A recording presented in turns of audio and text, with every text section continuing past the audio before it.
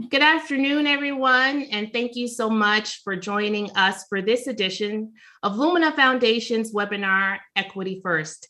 My name is Danette Howard, and I serve as Chief Policy Officer and Senior Vice President at Lumina Foundation. And I can hardly believe that this is our seventh episode this year. Thank you to all who are joining us today, but also who have joined us for each of the previous episodes. Before we get started, I have just a couple of housekeeping items. Today's session will be recorded, and you'll receive an email once that recording is available. And for those who need closed captioning, that service is also available at the bottom of your screen. Finally, we will save a little bit of time at the end of our session so that Dr. Hrabowski can respond to questions from the audience. And with that, I'd like to introduce today's guests, Dr. Freeman A. Hrabowski III, President of the University of Maryland, Baltimore County, or UMBC. Dr. Hrabowski serves as president of UMBC, a post that he's held since 1992. And recently, he announced that he'll be retiring from UMBC this year after 30 years of distinguished service as president. Dr. Hrabowski is a prolific author having published numerous articles and books, including his latest, which we'll discuss today The Empowered University Shared Leadership, Culture Change, and Academic Success. Dr. Hrabowski has received numerous awards, many, many awards, uh, and I'd like to name just a few of those and uh, many of his uh, designations as well. They include being named one of the 100 most influential people in the world and one of America's best leaders. In 2018, Dr. Hrabowski also received the American Council on Education's Lifetime Achievement Award. Something that is not in his bio is that Dr. Hrabowski leads with his heart, always putting humanity first. I call him the GOAT, the greatest of all time in terms of college presidencies. And it's an honor to welcome to today's episode, Dr. Freeman Hrabowski. Dr. Hrabowski. I love it. Thank you. Thank so you nice so to much. see you. So great nice to, great to be here. And I am so proud of you and having watched your evolution over these years from junior fabulous administrator to where you are today. So congratulations to you. Well, thank you, Dr. Hrabowski. So, uh, some people may not know your origin story, might not know where you're from, may not know um, about your mom and dad. So, can we take a few minutes to just have you tell us about the beginnings of sure. uh, Dr. Freeman Hrabowski? Sure. And I, I'll say it very quickly. Coming from Birmingham, Alabama, I like to say that UMBC and Baltimore are the upper South. I grew up in the deep South in Alabama, and I was very fortunate to have educated parents who had been the first in their families to go to college and had become teachers. And I had an amazing education in public schools. Uh, it was challenged without the resources, but with very strong teachers, all black teachers. Um, I had one experience of integration when I went in the summer to Massachusetts in high school. So my parents could give me that opportunity to see what it was like to be around kids of other backgrounds the point I want to make there is that nobody would talk to me, not even the teachers. Uh, and yet you go back to Birmingham and you're in this village, and they teach you that you must believe in yourself. And that was my background. I'm a very proud graduate of my beloved Hampton University and then grad school at Illinois. And I've been here at UMBC for 35 years. That's my story, and I'm sticking to it, Danette. I love it. Uh, so, when you were a, a, a, young boy back in Birmingham, Alabama, yes. did you ever think, hmm, one day I'm going to be one of the most influential people in the country? One day I'm going to be one of America's finest leaders? Or did you think, I just do math. I want to be a mathematician. you know, and you just made the point. I, I've always seen myself as somebody who loves math and wants to excite people about math. But no, the experience I will always remember is, is having the governor of my state say to children who look like me that there was no way we were going to the University of Alabama. I mm. remember that. I remember with tears when the black kids were trying to integrate there. And uh, I remember my parents saying, particularly my mother saying, just get the knowledge a lot of people are fair, just get the knowledge. And so my hope was that I would just be given the chance to show what I could do. That was as most as I could have imagined. And my, my mother, who I said was a teacher, always thought that I would one day do the highest thing she could think of, which was to become a high school principal mm. of an all black school. That was her world, you see. So when she came to UMBC and saw this integrated setting, um, it was just another world for her and for me. And for me, it really was an, an American story. Yes, indeed, indeed. And you were a child of of the 1960s. Yes. Um, yes. And, an activist, even as a, a little boy. Yep. Participated in marches and protests. Yep. So when when you think about that experience that you had uh, during your youth, and then you fast forward to the year 2020, and we were hit with a lot in 2020. Yeah. Yep. You know, just yep. as we were figuring out what it meant to be living to be living in a pandemic. Yeah. you know, um, um, many of us had never even imagined that possibility. We were then hit um, with with the George Floyd murder and, and the murder of Breonna Taylor, Ahmaud Arbery, and yes. we know that those were not the first, but they did uh, capture the attention of the nation differently. Yes, yes. So something that that moment also required us to do was to really reckon with race in a way that we had not mm-hmm. since the 1960s, since the civil rights movement. Mm-hmm. How were you able to make sense of this time, mm-hmm. summer of 2020? Mm-hmm. What was going through your mind, and what was your message to your students at that yeah. time? Yes, you know, UMBC is um, different in the sense that we were a campus founded in the 60s at a time of great protests, civil rights, Vietnam, uh, and we were the only campus in the state founded for both blacks and whites. At that time, when you talked about integration, it was blacks and whites. Now we have all the other groups, of course. But I tell you that because race has been a, a topic for this campus for years as we think about, and I often say UMBC is an experiment, an experiment to say, how do we bring people from all backgrounds today, people from 100 countries, but at that time, blacks and whites together and teach them how to not just coexist, but to begin to understand each other's perspectives. Mm-hmm. And as you know, Dan, and having worked here at UMBC, very proud that, that you got a foundation here. Yes, uh, the fact is that we can all be better. We can all be better. I don't care how well a campus is doing, there's always more to do. And what I would say is that the period of 2020, in many ways, reminded me of the period in the 60s. Hmm. Our Congress couldn't get anything done for a good while there. President Kennedy was not able to, to bring things about. Finally, President Johnson did after a number of protests, but it wasn't just the Children's March in which I participated, but it was the bombing of the church and those four little girls and mm-hmm. my friends. You know, it mm-hmm. was all that horror as we see the violence today and the police brutality. And what that meant was for me in 2020, when my students said, Well, we've never, it's never been this bad before. And I would say, No, no, you need to know your history. Yes, it mm-hmm. has been that bad, that bad before. The 60s, the 1860s, the 1960s. That it was it was tough. Now we've got more technology, more visibility, and you see it more closely. But they were just beginning in the 60s to show when all of my little friends and we were marching in, in the fire hoses and the dogs, and people began to talk about that. What gives me hope, and what I said a year ago was this that after all of that challenge period, that period of frustration and hopelessness after those children were killed, uh, that what happened? We had legislation. We had the Voting Rights Act. We had the Higher Education Act in 65, the Civil Rights Act. And all of a sudden we changed and we started having more, and then the Pell Grant Act, and we began to get more people into college and we began to make progress. Mm-hmm. Not as much as we needed, but some progress. Then we get to this period and we see ourselves going backwards in some ways.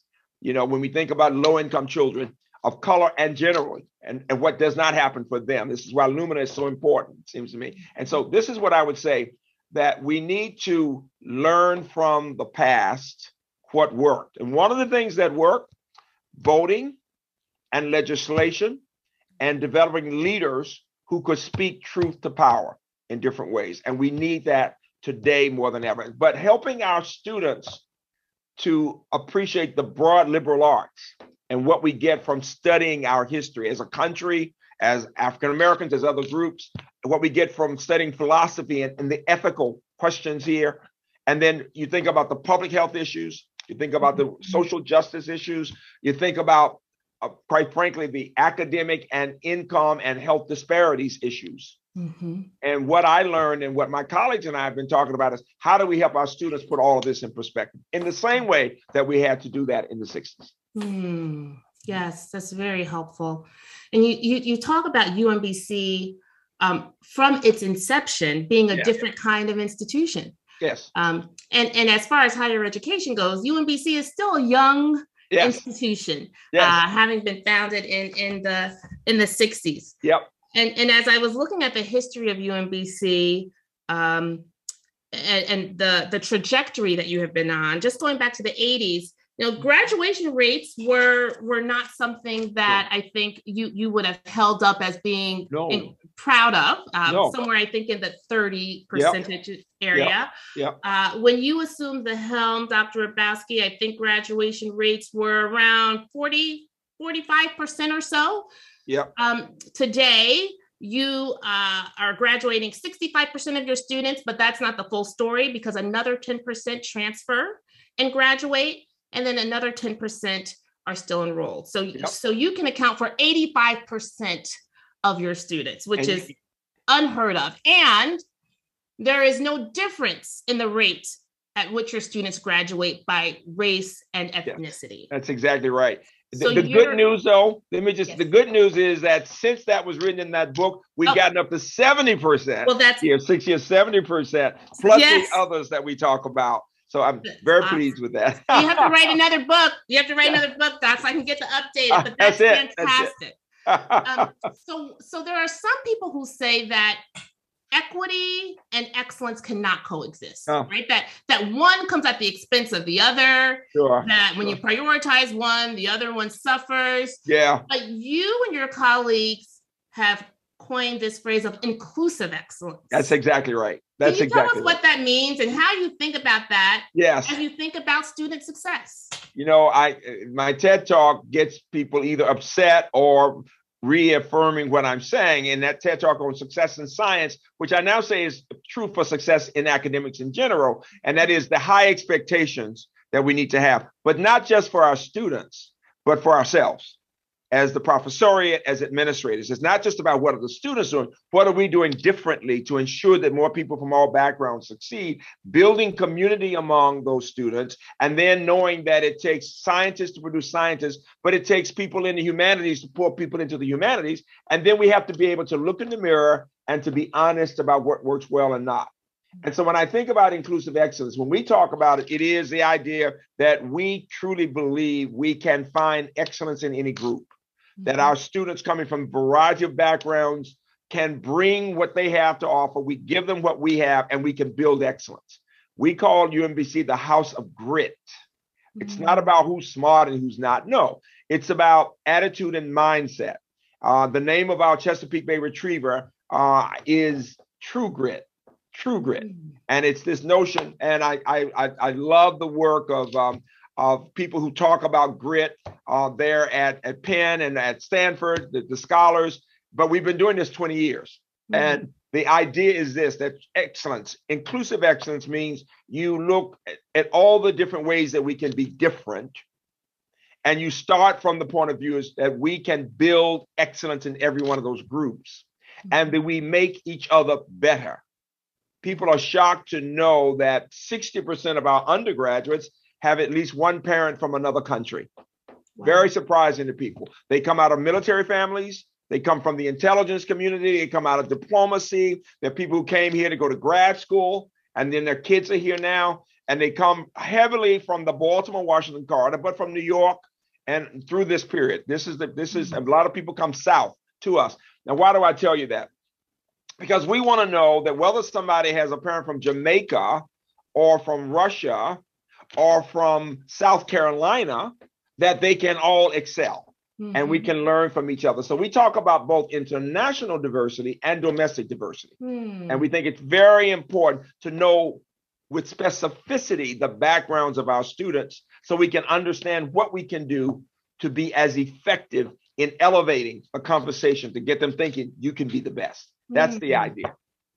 So that reminds me of something, a point that you and your co-authors made se- several times in the book, and I think it was we, meaning at UMBC, we aim to be what America hopes to be, or oh, it was yeah. something yeah. along those lines. Oh yeah, oh yeah, that's exactly it. Yeah. So, so oh, is yeah. that what you meant by that phrase? It's a great question. Great question. First of all, we like saying when you walk through the campus, uh, you will get the feel of the Plaza of Nations at the UN. You do see people of all races, all backgrounds, all religions. We're very proud of that. But it's wonderful to say that you can take any one of those groups and look at our graduation rates and performance, and there is no statistically significant difference. That's mm-hmm. number one. That you can see people from all of humankind and see people respecting each other and see people appreciating who they are and their own culture, but also mixing it up and getting to know others from other backgrounds and and with one essential message. I say that the significance of UMBC is that we're saying to this country and beyond that you don't have to be rich mm.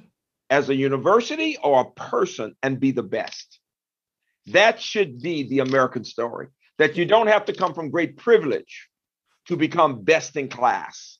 And we take great pride in that. When I talk about, you've heard me saying it across my forehead, Dr. Kizzmekia Corbett. I keep going back to that name because she's in the news now. She's on the cover of Time magazine, yes. first black woman in the world to be a part of creating the vaccine. She led the mm-hmm. team with Barney Graham. I mean, nobody ever heard of the idea of a young black woman creating a vaccine, you know, or Kafui Dzirasa at Duke, another one of our guys, uh, wonderful four black men on the faculty there at Duke and tenured or tenure track positions, but he's created a pacemaker for the brain to address schizophrenia. Mm. Or the president of, of Clemson, wonderful working class white kid who's now one of my mentees, president of Clemson, first in his family to go to college. That's that point. You know, it's it's that idea. Or on my campus, Mike Summers, Howard Hughes investigator, National Academy of, of Sciences, um, coming from a junior college at that time in Florida hmm. then going to a, a, small college in Florida, and then Emory, and now Howard Hughes investigator, young white guy, now young at 60, but producing one of the largest numbers of blacks who go on in biochemistry. You know, so hmm. people from humble beginnings who become best in class that's mm-hmm. the idea. While others coming from middle class beginnings do the same thing. So if there's a message there because we send a subtle message all the time on TV programs. You always see people wanting to go to the most prestigious of private institutions. Under you know, you, the writers must come from those places. Where you see certain names, and that's fine. They're wonderful institutions, but we have so many fine institutions, two and four year, yes. who produce people from public universities, community colleges who go on to be the best at yes. what they do. And yes. that should be the message of American higher education. Absolutely. And you know, the examples of, of your former students and of your faculty that you've just shared, in my mind, are the personification of the American dream, right? That yes. that is what we think of when we when yes. we envision what the American dream actually looks like. Yes, yes. But have we really fulfilled our commitment to making that dream equally available to everyone? No, you, no, we no, still have, you know, if you're from the lowest income families, yeah. you have about the same chance today as you did back in the 60s. Yeah. I don't want to keep going back to the 60s, but, no, but you're right. your odds of getting a, a college education have not changed much since yes. then. Yes. And there are examples like UMBC and you know others, Georgia State, yes. that have figured out how to close these gaps. Yeah. But those examples are still far too few. The exceptions. They're the yes. exceptions. You're, you're so right, Dan. You're so right. The, the fact is, we have a long way to go in this country, that structural racism is still very real, that mm-hmm. discrimination against poor people, lack of opportunities.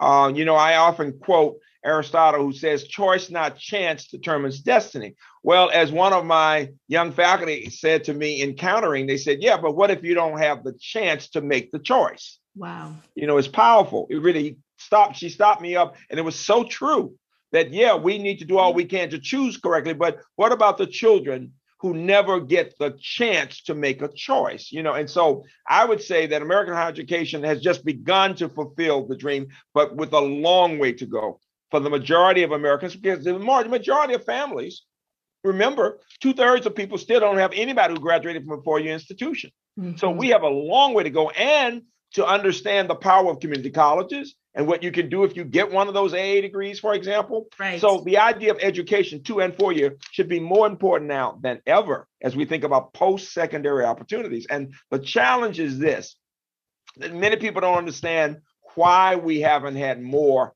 graduate, and it has a lot to do with our value system mm. in this country. When we hear people saying all the time, "Oh, so many people don't value a college education," show me a family that has had one or two people graduate from college who wouldn't want their children to go to college. Right. I don't care what political party. You know, it, it, it, it's crazy to say otherwise. Number one. Okay. Number two, from my perspective, I go back to my foundation in Birmingham with my mother, the English and math teacher. Large percentages of America's children cannot read and think well. Mm. So the notion of connecting our higher education system more uh, deeply and um, more seriously to the pre-K through 12 system, not just in the language, but in the substance of what we do. Mm-hmm. As we think about preparing children pre-K, pre-K, all the way up, we in universities and colleges have to be more concerned about and interested in what happens with children because it's that foundation that they develop even before starting the first grade. So a college president needs to talk about that. You see, mm-hmm. you know, we've mm-hmm. got a number of programs on our campus focused on pre-K through 12, from the choice program that you might remember for yes. first-time offenders, yes. children between 8 and 17, and and and literally supervising them 24 hours a day, seven days a week. If, if somebody goes to the Shriver Center at UMBC in the choice program, 30 years, we've served over 10,000 families, all the way to the Sherman Scholars Program, preparing teachers to work in challenging schools from early childhood through middle school math and literally working to build those skills. We all saw in the last few weeks around the country that children from low income backgrounds had scores that were much lower than they'd ever been before because of this online period of challenges that it was only advantaged children who had somebody there at the house to help them stay on, on task. So what is my point? Oh no, we are just beginning to fulfill the dreams. For those of us privileged enough, the one third to get an education, yeah, we're better off than we ever thought we would be. But for the majority of Americans, uh, we have that challenge and responsibility to mm-hmm. help those children and those families to get to the next level. Mm-hmm. By all means, you're absolutely right. Mm. So as you look back over your 30 years and, and you think about um, stepping down from this post at UMBC, given the challenge that is still ahead of us, yes. what, what do you tell the rest of us to do? Uh, we still have a couple of decades left. Number one, to keep hope alive. At the end of every one of my speeches and my meetings with my colleagues on campus, with with others in the university system of Maryland, they know to hear me say at the end, keep hope alive. Hmm. Because in the darkest hours, we must have those candles. We must light that candle and keep hope alive because we can do this. Leaders believe, I don't care how bad it gets, we can do this. We have mm. to believe in ourselves. Number two, we must be able to speak truth to power. We must be able to say when something is going well or when we see people are not doing well. We had a, uh, I wrote an article with the Secretary of Juvenile Services uh, in the state of Maryland talking about the fact that if you have a child of color and you have a white child, boys who commit the same crime, that black child or Hispanic child is much more likely to get a record hmm. than the white child for a number of reasons. Whether you have a lawyer or you're in a community where they think of a child as a child, or you're in a place where you treat a 13 year old like he's a man, you know, and and the, the, the data that the Secretary of Juvenile Services showed that this was the case. We hmm must teach people to use the evidence. Mm-hmm. And all of us have to speak about that. But the one thing I would say for people who are and I, I continue. I, I, have every intention of working with universities around the country for years to come. I'm just getting started. I love it. I love the passion, right? Yes. But what I would say is that we must be the champions of higher education. we must not allow the media, media to say, oh, people are questioning higher education. No, they're not. Not in the sense of those who've been privileged to get some higher education. Now, if you've never had a chance to go to college, then you don't know what it's about. You really don't know, and you need support and understanding how it can help your children. Mm-hmm. But I don't, I don't know families who've had one child do well who didn't say, "I want the next to do well." And that's the message. We have to be the voice saying, "I'm an, I'm a, I am an example." Each of us is an example of what happens when we get an education, and we want others to do the same. Absolutely. Thank you for that. Sure. So, you know, UMBC is a kind of place where you can get an exceptional education no matter your major humanities, uh, arts, uh, fine arts. Um, you, have gotten so much acclaim for. Um, your work in STEM that sometimes um, we have to make sure to say, regardless of your interests, yes. you can get an exceptional education with a wonderful experience. Oh, yeah. Oh, yeah. I wanted to make sure to say that. I but appreciate I- that. We need to, to emphasize for, because we're looking for more students. We get so many students in STEM 55, 60%. We're always excited about the students in the humanities, social sciences, and the arts because we need those in our society. We need to make sure everyone is broadly educated, but we need the artists. Mm-hmm. We need the ethicists. You see, we, we need doctors who are hum- humanely trained and who are educated in the humanities. Uh, and with these public health issues, there are so many ethical questions we have to ask. So we need the mm-hmm. experts uh, in the disciplines, and we need people broadly educated. And we want to, to make that point very emphatically, emphatically important on our campus. Very important. Absolutely. Um, but I do want to talk, um, Dr. Hrabowski, about um, the program that you co-founded prior to your becoming presidency. Okay. Um, okay the the Meyerhoff Scholarship Program. Yes. So back in 1988, yes, uh, before you were named president, you worked with a philanthropist and founded this program that was designed to increase the number yes. initially of Black males earning PhDs or MD PhDs in yep. sciences in the sciences and and, yes. and, engineering, the STEM fields. Yes, and then it was opened up to to African American women, and now to all students who care about increasing the diversification of those fields and serving the communities that have traditionally not been well served. Yep. The, the, the success of the program has been uh, astounding, and that is without hyperbole. Yeah, thank you. What gave you the audacity to think in 1988 yeah. UMBC was still a very young institution. Yeah, yeah without yeah. the acclaim that it has now. Yeah. You were you were you know a, a, a, um, a seasoned administrator, but right. uh, you hadn't had the tenure Right. And so what gave you the the, the sure. gall to think that you could establish a program given yeah. given the data, given the context, given right. everything that would say this is impossible? Yeah. What made you think we can substantially increase the number of black men, black yeah. women, and yes. others committed yes. to this work Yes. Increase the number, not just just have, you know, bachelor's degrees. Right. We're talking right. about PhDs, yeah. MDs. Yeah, yeah. I appreciate that. Um, you've done your homework. You do know the story. It's very interesting from having been on this campus at a certain period, but yes. having read and thought about it. But let me say several things. Number one, it's funny. I was in my 30s at the time. Uh, I love youth. I love youth because when we are young, and I call young anybody under 55, all right, but, the, but at this point in my life, yes. but when we're the younger we are, the more we are willing to experiment and to say, well, why not? Let's try it. The older we get, if we're not careful, we won't be saying, been there, done that, it won't work. So I'm mm-hmm. always about encouraging and empowering young people. But I was very privileged at that point to, to ask the hard question what could we do? Because I, I couldn't mm-hmm. find, we had really looked around the country, we couldn't find one institution that had sent even 10 to 15 Blacks on a year who completed PhDs in STEM, not one in the country. And the only ones who had a few people going on more than anybody else would have been HBCUs.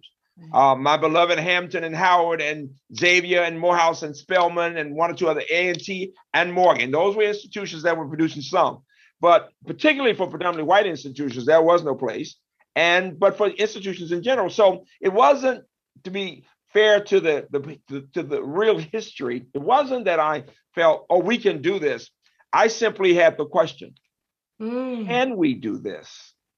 What would it take to have larger numbers, not just surviving in these areas, but thriving and soaring and wanting to go on and get a PhD.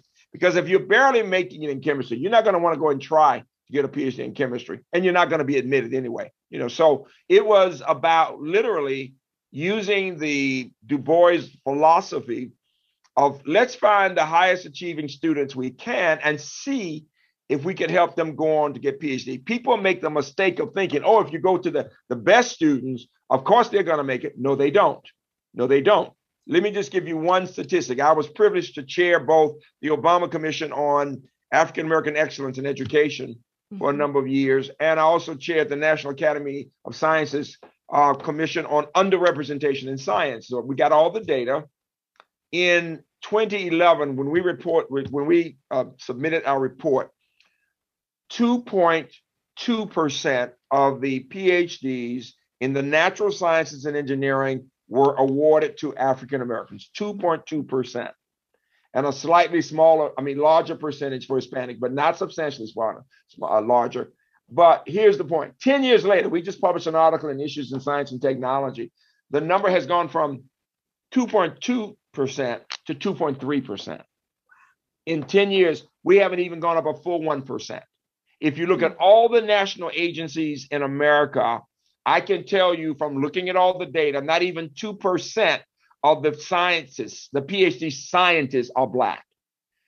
From NIH to NSF to NIH to NS to NIST, all the, the numbers, all the acronyms, NIST and, and NSA, not mm. 2% are Black and slightly larger percentage for Hispanic. So even when you look at the best prepared minority students, the majority are not succeeding and being inspired to go on for PhDs. Mm-hmm. Uh, and why, why the PhD? We need some to be on the professoriate. I wrote an article with colleagues on how higher education can address racism. And I say, we say that we are very good about critiquing society, we in universities, but we rarely go inward, as the book says, to look in the mirror and say, what about us? Mm-hmm we we should give ourselves very low marks for our inability so far to diversify the professoriate. Mm-hmm. The percentages are very small of people of color on the professoriate. And um, and when we say we can't find them or they don't exist, that's not that's not acceptable. Hmm. They are there. There are more and more. We're seeing more and more people coming through who need support and who can move on the faculty. Our STRIDE, S-T-R-I-D-E program at UMBC has been successful in re- attracting more Blacks and Hispanics to the faculty mm-hmm. uh, at both in the arts, humanities, and social sciences uh, most successfully. And that still means we're only maybe 10 to 12%, but we've made progress and then getting a presence in science and engineering. Mm-hmm. But it, you're hard pressed to find more than one or two Blacks or Hispanics in departments, in research campuses, and wonderful liberal arts colleges um, of Blacks and Latinos today, mm-hmm. while the percentage of students continues to go up. And they want to see people looking like themselves. And students in general need to see humankind represented in the professoriate. That is the issue that we face. Can you say more about that last point? You know that that uh, you know Latino students, Black students, Native American yeah. students need to see themselves represented, Absolutely. but all students need all to see students need to those see that. individuals as well. Yep. yep. And I want, you know, and we want we want faculty who can say, I'm first generation college too. Yes. And I can and you can become a professor, being the first in your family to go to college. You know, when I mentioned, for example, Dr. Clements, my, my mentee, Jim Clements at Clemson, first in his family to go to college. When I mentioned Jack Thomas, who's at Central State University, a mentee who grew up in rural Alabama. I'm from the big city, Birmingham. I tease him. I'm the city boy. He's the country boy. He's from where my dad is from, below Selma. Mm-hmm. And um, he was first in his family not only to go to college, but to finish high school. To finish high school, has a PhD in English, was president of a university in the Midwest, now president of Central State. People need to know these examples. Mm-hmm.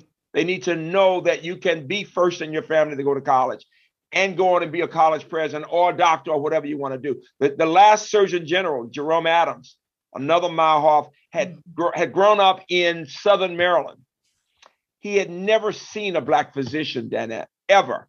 Wow. And he goes on to get a medical degree from Indiana, a grad degree from Berkeley, becomes a professor in Indiana, and then becomes um, the Surgeon General.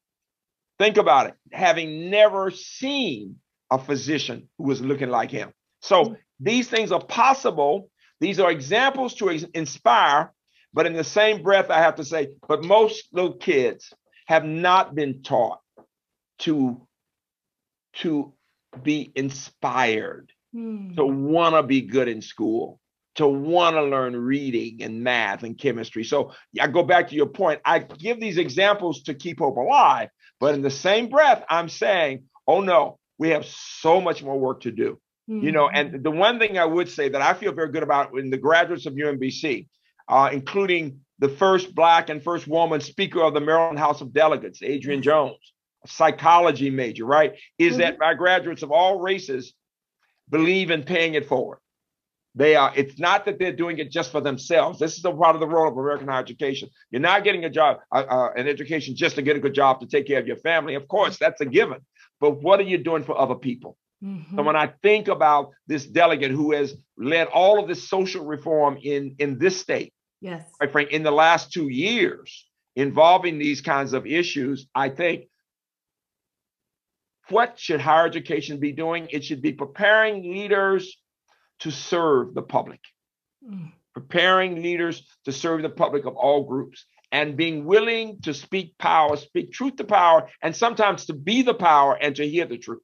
Mm-hmm. That's the other part of it that's especially significant, very important. Yes. Yes.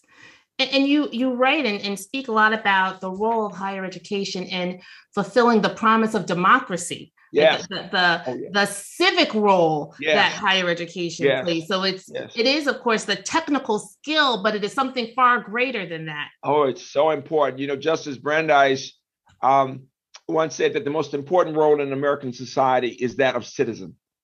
As we work to help more people coming from other countries to become citizens, as we look at those of us who are fortunate to be here, who have a role to play and to teach children and others and families that you have this opportunity to help shape your destiny by the people you select as your leaders, mm-hmm. because they are the ones who will make the laws that would either hurt us or help us. And that's it's so important. You know, uh, my friend Fred Lawrence, the secretary of Phi Beta Kappa, says that the, the, the fundamental role of of higher education is to prepare our students to be able to, to develop their own positions on important topics and to be able to present their point of view and back it up with evidence, number one. Number two, to be willing to hear arguments and positions different from their own and to analyze the evidence that they present. And number three, to work to find that common ground. Mm-hmm. You know, we all say that, but it's really hard sometimes to find that common ground. Our Center for Democracy, led by our colleague David Hoffman, is amazing in working with people from every political party, from every relation, uh, religious and racial group, and and bringing in speakers who will sometimes be controversial mm-hmm. to push us to think. You see, and to have points of view presented that it will give us a chance to see the different sides of the argument. Yeah. I like to use the language we should teach ourselves, students, but ourselves, to learn how to agree, to disagree agreeably, or to mm-hmm. agree to disagree with civility. Because here's the problem if we hear somebody else's point of view and it is outrageous and it's offensive, if we become angry, this is the this is the challenge those, and I didn't make this up. It's I can't find who said it, but it, it's a wonderful quote I've heard all my life. Those the gods wish to destroy, they first make angry. Those the gods, and for leaders in higher education, it's really important because if I make you angry, I can make you say things you will regret. You know, better to say, let me think about it, or just to be silent until you really think through not only what you think about it, but what's the most effective approach in mm-hmm. addressing mm-hmm. whatever it is that may be offensive or something that you really don't agree with. And mm-hmm. so that is our challenge in higher education because we we get to a certain point and we like this before we even get That's started. Right, right. You know, and so that is a challenge we face.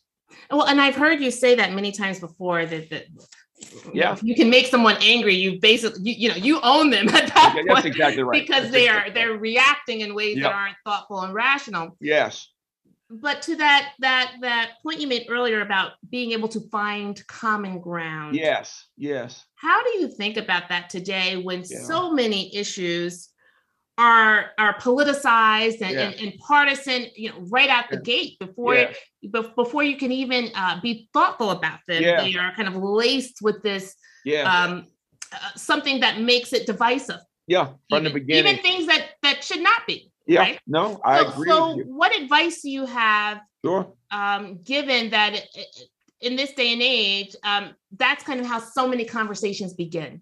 You know, I, we believe in focus groups of different types on this campus. I enjoy leading focus groups with student leaders, with other leaders, and with the random group of students, sometimes randomly selected, sometimes with special groups with returning students, with our veterans, for example, with the uh, women's center students, you know, just a variety of groups, uh, with, with different organizations on the campus, and then bringing in different, the cultural groups coming together. And the first challenge we face is to build some trust among people to, to develop a space where people can feel I can say what I really think and I'm not going to be knocked down immediately when I say it. And that's hard. It's very hard. Or, or to to to help people understand they can tell us what the, truth is from their perspective. And it may not be what I want to hear, but we have a term here, retriever courage. Hmm. Um, again, we are the Chesapeake Bay Retrievers, but and we we started using that during the Title IX challenges that we faced because while we thought we were doing all the right things, we had a lot to learn. I apologized to students because we hadn't done as much as I thought we had, and we made a lot of progress with everybody presenting with um, amazing listening sessions that were painful Mhm. where students said, Doc, we just want you to hear it. We don't want you to have to respond, but you need to hear what we're feeling, right? But in going through those painful conversations, we were building trust, you know, and it's when you build the trust that you can then work together on recommendations and approaches that people can say, well, I had a chance to participate in whatever we decide to do, you see. But it does take a combination of building trust, which only comes when people believe there is authenticity. Hmm. People must believe, our colleagues, staff, and faculty, our students must believe we care about them, that people do matter, Mhm. and that this is not about a game, this is not about an agenda. We want to figure out how we can be most effective, right, and most supportive, especially during this time, Dan, that for mental health issues for everybody, right? More caring, more willing to hear what we don't want to hear, the courage to hear the unthinkable, Mhm. see, Mhm. and to give yourself time to think, okay, what does this mean for this campus? And it doesn't happen overnight. It takes time and sessions and developing the skill to facilitate the tough conversations. Yeah. So, so I I so appreciate that, and and one of the things I took away from the um, Empowered University, and I don't know if this is right, but this is how I made sense of it. I thought that you were suggesting that there is a role for the actual learning to play in facilitating that trust building. So when you, I think you called it community engaged learning, Yeah. when students Yeah. uh, are, who come from different perspective, backgrounds, points of view, are engaged in the work, you know, in the work, that provides them with an opportunity to get to know each other and do that Oh, trust building. So the learning itself is a mechanism for that. That's exactly right. That's you are you are on point. And there are many settings on this campus and others where we are working to have these the activities, sometimes involving working with communities, Mhm. but reflecting on that work, sometimes involving disagreements or times when people are upset with the university or Mhm. when things have been said that are offensive. We had a session led by my our Muslim Student Association recently, and to have more people, we did it outside, Mhm. and it was powerful. It was very powerful to hear those perspectives. Uh, I had the privilege, of my wife, now girlfriend, and I years ago, as Hampton students, spent a half year in Egypt and studied Islam and Arab society. And so I brought with me that sense from that community in Cairo from 50 years ago, almost, yeah, 50 years ago. And what I will tell you is, but to hear my students and to look into their faces of students who practice Islam, who are Muslims, and to see the diversity in that community, first of all, people have certain assumptions, right? But to hear how they are processing how they are being treated, or what's happening, and what we're working to do to be supportive, on the one hand, uh, to work with our students from Hillel on another hand, in wonderful ways to see what they've gone through with anti-Semitism, to work with other groups, Black students, Latino groups, and you see how there are points of commonality mm-hmm. and then unique points that we need to appreciate. But being able to listen, to listen, it seems to me, is just so and reflect. And for for those of us who are over a certain age, to open our minds to the fact that people who are younger will think about things very differently sometimes. Mm-hmm. And we cannot dismiss the way they think about those things. Even as we talk about social media, I keep learning from my students because I have certain points of view about social media, certain parts of social media. And it, it but it helps me to hear why people do what they do mm-hmm. and to see how we again can find that common ground. Absolutely. You know, there's some things I will say, old school. Just remember, whatever you put out there, it's gonna be there when you go for that first interview. yes. All right. Now you sure you want? I said, let me tell you what my alums have said before. I wish I hadn't done that. All right. You just want to make sure you're ready for that. Right. Mm-hmm. And then, but at the same time, to understand how you can build community in a positive way through social media while trying to minimize that part of it that can be toxic. You mm-hmm. get my mm-hmm. point? And, and so it's my trying to hear their language and use their language to help me.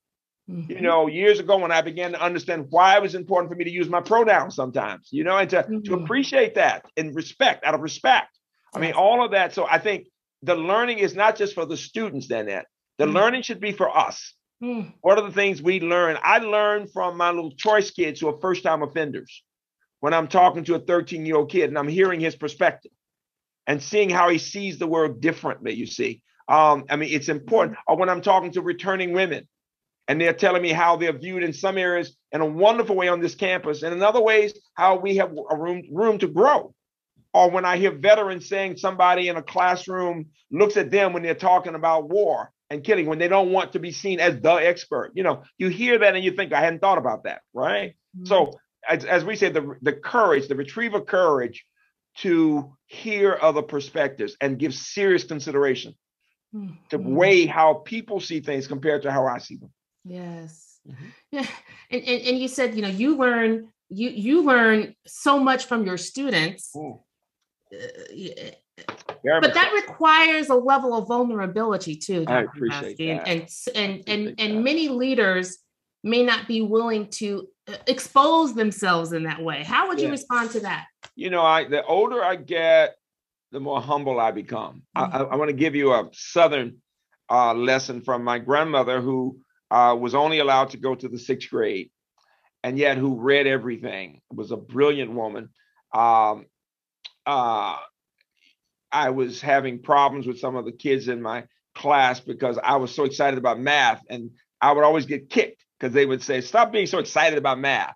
And the teacher would give us 10 problems and I'd say, Give us 10 more. And the whole class would go, Shut up, Freeman. but I tell you that because, and then sometimes some of those same kids who had not been nice to me would want to be my friend, sometimes to get tutored or whatever. And I would say, Grandma, should I trust them? Mm. And and and she said, she gave me two lessons. The first was she said, you get to know the character of the person. He said, you you can put a, a silk blanket on a, a zebra. Just don't forget the stripes are still there. I'll never forget that lesson. That you want to get to the soul of the, the character of the person mm-hmm. and build out the best in them. That's number one. But the other lesson is about humility. She said, I always want you to stay on your knees son. And I said, mm-hmm. why, grandma? She said, well, for the obvious reason, you want to always be praying. She said, but but for this reason, you're going to do well in life. You study hard. You like people. She said, but the higher up you go, just remember this. When you fall, and you will fall, the higher up you go, the harder it's going to be on you. When you get knocked down, the higher up you go, just know you're going to get knocked down. Mm-hmm. But if you stay on your knees and your attitude, you won't fall too far. And that was wisdom from a sixth grade educated woman former the daughter of slaves. Mm. I'll never forget that lesson about humility. That we, as we go into these high-powered positions, we sometimes start thinking we are the position. No, I am not. I, I am Freeman Hrabowski. I sit in the presidency, and I'm honored to sit in that chair. But I'm about to leave it. But I'm whole. When I leave, mm. I am Freeman Hrabowski. We must remember there's a distinction between the position yes. and who we are. You know, and and that centering and understanding the importance of humility is at the heart of the beginning of wisdom. I love that. Thank yeah. you. Uh-huh. Thank you. We are getting questions coming in uh, furiously, and we will probably only have time for one or two. Sure. But I think this is a good one. Um, they ask, given Dr. Hrabowski's upcoming retirement, yes, how are you preparing UMBC to continue the great work achieved under your leadership? Yes. You know, uh, years ago, when there was a group of presidents here to evaluate me, one of them said, it was amazing, he said, Well, what are you going to do when Freeman leaves? And one of the heads of the faculty said something that I was, I heard about it later on. Uh, she said, uh, We love Freeman, uh, but we will be fine because we believe the same things. That what we're talking about, this inclusive excellence, is in the DNA of UMBC. We mm-hmm. hire with that in mind, faculty and staff, you know, and it was the best thing I could ever hear. People are thinking, oh, they won't be okay. They're going to be fine. There's so many people here empowered to lead of every race, men and women, people from all kinds of backgrounds. We talk about diversity in every religion and race and LGBTQ and income level. And we talk about those things with, with great respect. Mm-hmm. And it's not a few people. It's not in one department. Across this campus, I mean, I it has been my honor to be here. It's I, people say, why did you stay so long? Because people are wonderful to me. So the presidency is strong. Mm-hmm. That's different from me. It is the idea that people want to work with a leader as a thought partner. Yes. Not to come in telling them what to do. Oh no. No, no, no, no, no, no. As a thought partner, the best thing an impressive leader can do to be effective is to ask the questions mm. and to be ready to learn and to take the time to understand the culture of the institution. To come in trying to talk about what you did somewhere else is not going to work here. No, you have to understand this culture. Mm. And that's what that person will do. I've I've continued to say, and she will be a fabulous president. Did you get that? And she will be a fabulous president. I'm purposely putting it into the air. It'd be wonderful if it were a woman. It really would.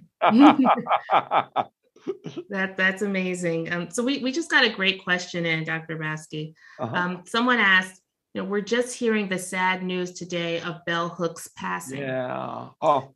And, and the person asked, I'd be interested in hearing you reflect on how yes. her writing and thoughts yes. might contribute to this conversation yes. about leadership for inclusive excellence. Yes. You know, I, I've been texting with, I have a, a group of um, uh, I have different groups of mentees, but I've got a, a, a small group of very powerful Black women intellectuals, and uh, we were talking about Bella. And, and I, I have people in Kentucky um, who are wonderful. Uh, Ann Grundy and her family are there at Kentucky State, but she's a graduate of Berea. Uh, Ann Grundy is, and Ann is the is the daughter of former president, I mean, of the minister of the church that was bombed in Birmingham. Hmm. Very civil rights oriented. And we were talking about Bell Hooks. And what we said was here's an example of an intellectual who was a giant. She was a giant and dying at a young age, late 60s or something, but who has given us such brilliant writing and who has shown us what excellence means. And I would even call it inclusive excellence because her messages can be strong for Black women, but for all of us in talking about humankind. Mm-hmm. And whenever you can say, you know, a giant, you're talking about someone whose legacy and whose work will go on well beyond the time of people who've seen her in person. Mm-hmm. To generations to come, we will be talking about her. It, she was a great woman. And mm-hmm. it is with such honor and humility that I would put her in the category with my number one hero, who is uh, Mary McLeod Bethune, as an example, with Sister Maya, obviously with Toni Morrison, mm-hmm. and with my mama's favorite, Zora Neale Hurston. You know, it's it's those wonderful women of letters uh, and of education who continue to inspire us. Yes, indeed. Mm-hmm. Yes, indeed. So I, I want to give you um, um, our last five minutes to reflect on a final question. Yes. But first, I just want to comment. Uh, you have introduced into this conversation about uh, the names of about 20 of your mentees. Have you ever quantified the number of mentees that you have? Uh, because it must be in the tens of thousands. so I've got, really- I, I, love that. I've got many. I was texting today. I mean, I am. They're, they're mentees and thought thought leaders with me from uh, uh, men, a mentor would be Johnnetta Cole, but uh, and then uh, Beverly, former president, there Tatum, dear friend and mentee, uh, and just a wonderful person. And then right now, Mary Schmidt Campbell, I was there with her and David, and so Morehouse and Spelman are wonderful. And I'm one of the few men who's an honorary Spelmanite. I'm very proud of that. They gave me an honorary degree. Very nice. But all the way up to Wellesley, first black president of Wellesley, Paula. Johnson, just yes. amazing. So we've got all these people who are um, wonderful, wonderful intellectuals mm-hmm. who put their research and their thinking into practice in special ways. You know, and um, from my perspective, uh, when I think about my mentees, I think about people of different generations. Mm. The students that I mentioned, Chelsea Pinnix is leading first black to lead MD Anderson's radiation oncology. Mm. Unbelievable young woman who shows us you can be an MD PhD from Penn and be married and have three kids and be leading at the leading place in the world for radiation oncology. Think about it. I mean, it's just you know, the first black woman to get a PhD in computer science from Michigan, Kyla McMullen down at Florida right now. So I got all these people who are leading in their pathways, right? Mm-hmm. And I like to think they shoot me just text messages and emails of inspiration every day, every day. And it just makes me more and more passionate about it. And I learn from them mm-hmm. all the time. And the people on this campus of every race who are um, constantly sending me notes um, saying, um, thank you, Doc. What can I do to help you? Freeman, uh, you better be in contact, blah, blah, blah, blah, blah. And it's the idea of staying in contact with people, mm-hmm. true mentoring. You know, and of all the people I can mention, I mentioned before I told you my wife, I married Miss Delta from Hampton. Jackie, we've been married over 50 years now. Um, she's more fabulous now than ever, but she has taught me so much about mentoring. She just hmm. she has a Jackie Hrabowski Scholars Program, and um, she's got mentees. A number of them are here at UMBC, but she's got mentees at several of the HBCUs. We've got Hampton. We do a lot in Hampton, our beloved Hampton. But but this is what I want you to hear. So she's got mentees who go back to the ninth grade when she started mentoring them then, mm. all the way through UMBC, now to marriage and to everything else, and they're still her mentee. You know, and I like to think of people we've worked with for years so the true mentoring comes not when you work with somebody for a year, but over the years and the stages of their lives. Alicia Wilson, mm-hmm. valedictorian from Mervo, from a trade school, comes here, goes to law school, is now vice president for economic development at Hopkins and chair of the board of College Bound, the program she came through. Jackie was on the board with her this morning, uh, just um, as we work to get more kids into college. So the mentoring should be something that we see as a part of our lives, mm-hmm. not as something we're doing for a job. And finally, the distinction between mentoring and championing. To be a champion, an advocate and a champion means you don't just give advice when they want it. You are intrusive. You know, Southern Southerners are intrusive. We will give you the good and the bad. We will just say, mm-hmm. I love you and I got to tell you the truth, but we will also knock down doors for you. That's mm-hmm. Mike Summers here this wonderful professor in biochemistry knocks down doors mm. when he talks with people at the agencies and universities. Uh, is she getting an interview? She's the best. Make sure you look at her closely. Do you have any other blacks in the committee uh, in the interview pool? You know, he will, and then he works with them to make sure they get tenure. You, you mm. want to think that way, not just in undergrad school and grad school and postdoc, but every job. I love working with people as they're working to become presidents and deans mm-hmm. and provosts. And then once they become that, to give them that support, even after getting that job, because success is never final. That must be the lesson. Success is never final. I love that. Dr. Bessie, we're at time, but I'd like for you to comment on one final thing. Yes. Because you've talked a lot today about questions. Um, you said, you know, you, you're one of your main roles is asking the good questions. I love a good question myself. Yeah. You said that the the the origin of the Meyerhoff was from a question that you Yes. asked yourself. So Yes. As you think about your 30 years Yes. and all that has come from your questions, Yes. how do you reflect on the power of a question Yes. Yes. to spur great change? Yes. So, so Yeah. I asked you before we got on, did you ever even imagine Yeah. what could be accomplished? Yeah. And it all started with a question. Yeah. So, can you leave us with some thoughts on that? Yeah, I, it would be, it's this notion that somehow there are questions we have not even thought about. I chair audit committees um, at the Sloan Foundation and a couple of wonderful corporate boards. And, and the best question of all when you're auditing whatever is, what is it that keeps us up at night?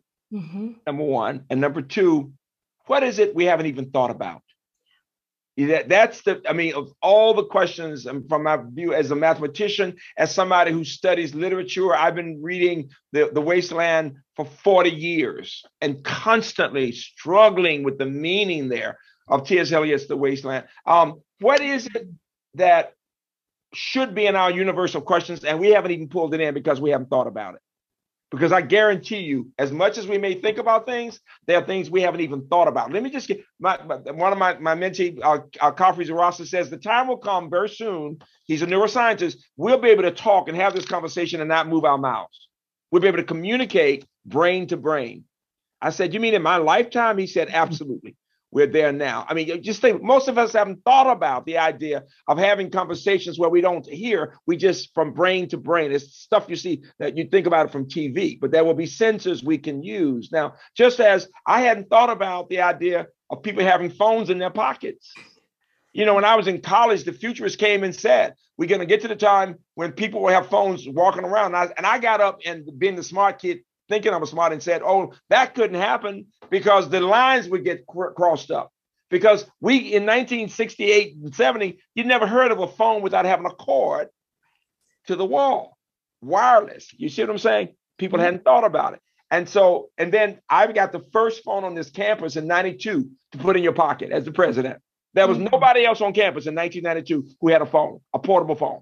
Mm-hmm. And it was a huge thing that you could put in your pocket, right? Now, Mhm. today, you don't find anybody with a phone. But who could have imagined that years before? Similarly, not just in technology, who could have imagined we'd have to wear masks all the time? You know, right? So, so here's the question it is how do we get a mindset that suggests things will be changing constantly? And how do we position ourselves to prepare for the storm? Because the storm will continue to come. That that is the ultimate question that we have. And in that storm, how do we be ele- how can we be elevated to still be hmm. inspired in the midst of the storm? Dr. Hrabowski, thank you. It's an honor to have you for my final Equity First webinar, and I thank you for being so generous with your time and with your wisdom. I appreciate it.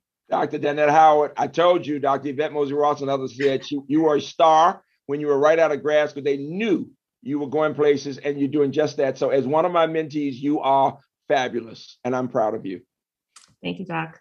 Have a great afternoon. Thank and you. thank you, everyone, for joining us. Have a great afternoon and happy holidays.